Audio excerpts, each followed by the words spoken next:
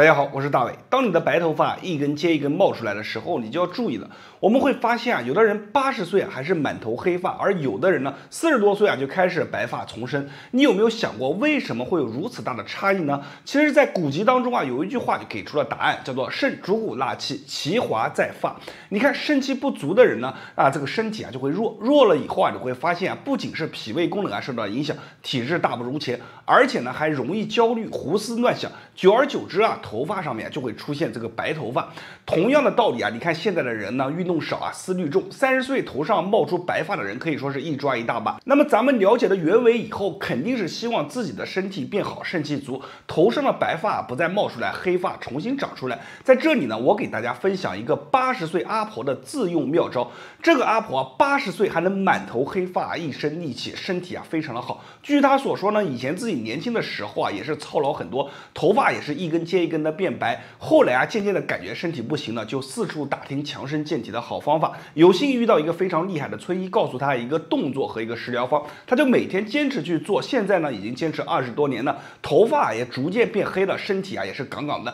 这个效果呢，也是他自己啊都没有想到的。那么今天啊，我会把这个方法告诉大家，希望大家把这个视频啊先收藏下来，以免以后想看的时候找不到了。好，我们先说动作，再说食疗的方法，两者只要相结合啊，只要你去坚。持，你也可以像这位阿婆一样。这个动作呢，我们称之为啊环箍通络法啊，就是在头上啊去做功。那么首先呢，我把这个头啊低下来给大家看一下啊。那我们的手啊要进行一个啊前视，你看从我们的两侧啊，大家从低头看一下啊，从两侧往内啊去挤压往上提。那么我们从耳朵平起耳朵开始啊，往内去挤压，然后往上啊。如果说俯视的话，你看这个手啊这样一扣。啊，扣住啊，看往内往上，好，然后吸吐气，好，大概两到三秒钟，好，松开，然后呢，再往再高一处的地方啊，就是下一个点，我们继续往内往上吸吐啊，配合呼吸，然后再来看往内往上吸吐。配合我们的呼吸去做，最后你看两个手在上面就交叠在一起了，就在上面，你看就交扣在一起了啊！你看也是往内啊往上。好，那么这个动作呢，我连贯性的给大家做一下啊！你看一吸吐，好，来二吸吐，三吸吐，最后到头顶吸。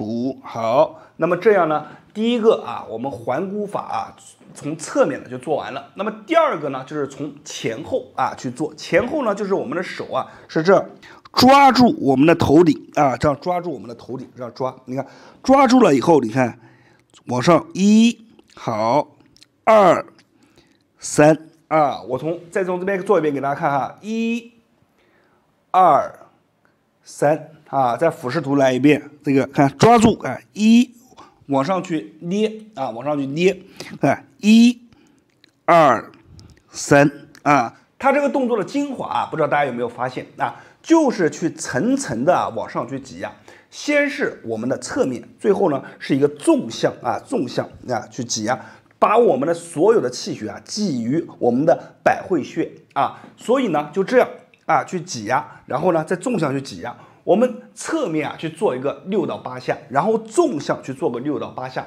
你做完以后，你会有什么感觉呢？头上啊发热，那头皮上面发热，感觉整个气血啊都被聚在顶上面，而且啊这个感觉是非常舒服、非常放松的。动作呢，大家都学会了，它是主外的，用于激发肾气。但是你身体里面，也要有足够的存量啊，给它去激发。这些存量是哪里来的呢？就是靠吃。吃什么呢？哎，大家注意看，就是我手上拿的这个小东西啊，黑芝麻丸。黑芝麻丸啊，已经有两千多年的历史了，在《神农本草经》当中啊，也被列为啊滋补上品。更有古代的医家，比如孙思邈啊、李时珍啊这些名人啊为其代言。但是黑芝麻丸啊制作工艺啊是比较复杂的啊，需要九蒸九晒。古代呢没有什么工业水平，所以啊只有达官贵人啊富有人家才能使用。那么现在来说啊，黑芝麻丸可以说是人人都可以吃上的一种小零食，性价比啊非常高。就我自己。来说，吃了大概有一年之久，最明显呢就是头发变得黑亮了，而且呢比较柔顺。大家如果感兴趣的，可以看一下我的橱窗。我自己呢是早上搭配着早饭去吃，一天啊是选择吃两颗。那么因为呢它是比较好携带的，大家可以放在随身的包里啊或者办公室里，这样平常啊就能方便的去吃了。哪怕你有的时候啊非常的忙，过了饭点，黑芝麻丸啊也能及时的顶上。咱们这套方法啊既有内也有外啊，内外相结合就能相辅相成，肾气更足，身体更好。好了，今天这个视频啊就分享到这里，我是大伟，感谢大家对视频的观看和支持。那没有点赞的朋友啊，记得长按视频的下方的赞，给我一个超级赞。没有关注的朋友点一波关注，谢谢大家。